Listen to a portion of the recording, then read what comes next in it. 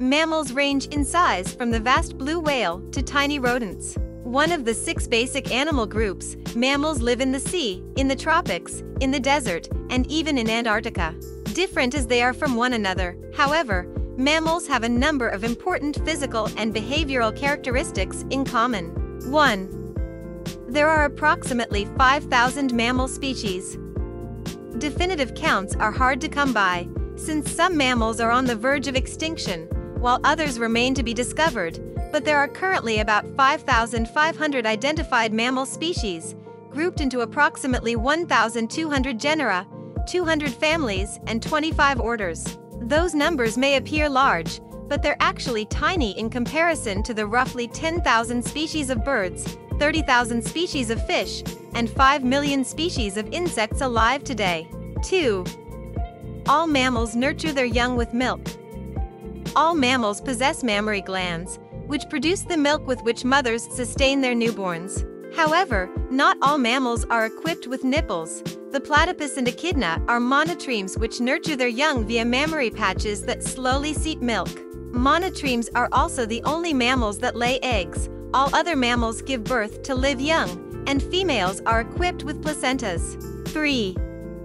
All mammals have hair. All mammals have hair, which evolved during the Triassic period as a way to retain body heat, but some species are hairier than others. More technically, all mammals have hair at some stage in their life cycles.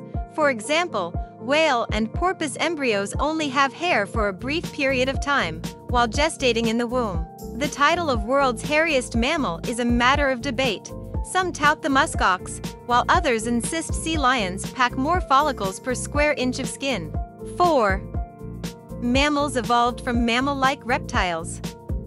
About 230 million years ago, during the late Triassic period, a population of therapsids split off into the first true mammals. Ironically, the first mammals evolved at almost exactly the same time as the first dinosaurs. For the next 165 million years, mammals were banished to the periphery of evolution, living in trees or burrowing underground, until the extinction of the dinosaurs finally allowed them to take center stage. 5. All mammals share the same basic body plan. All mammals share some key anatomical quirks, ranging from the seemingly minor to the obviously not so minor. Perhaps the most significant is the neocortical area of the brain, which accounts for the relative intelligence of mammals compared to other types of animals, and the four-chambered hearts of mammals, which efficiently pump blood through their bodies. 6.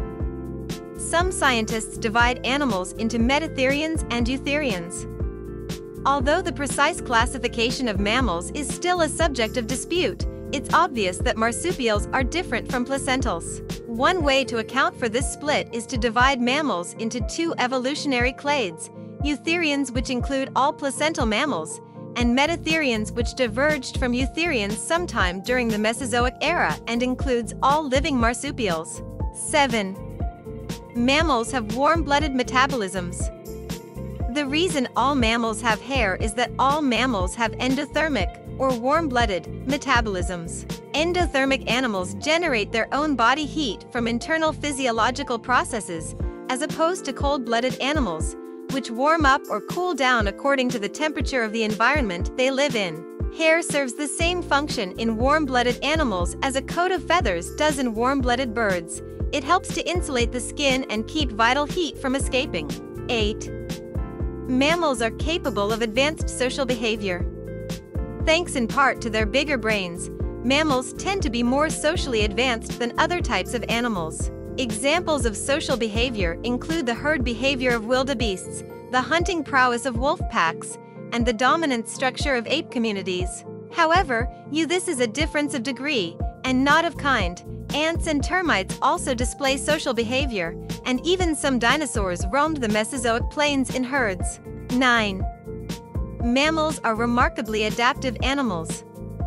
One of the most amazing things about mammals is the different evolutionary niches they've managed spread into over the last 50 million years.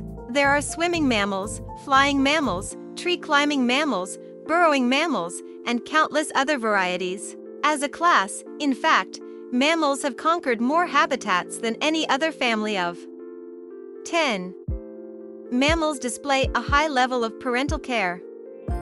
One major difference between mammals and other major vertebrate families such as amphibians, reptiles, and fish is that newborns require at least some parental attention in order to thrive.